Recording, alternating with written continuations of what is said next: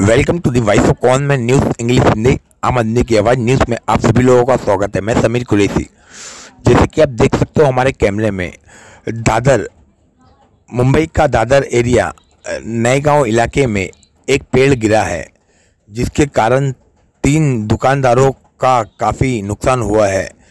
आप देख सकते हो किस तरह पेड़ जड़ से गिरा हुआ है, दादर के नए गाँव इलाके में। Like share and subscribe. Don't forget to press the bell icon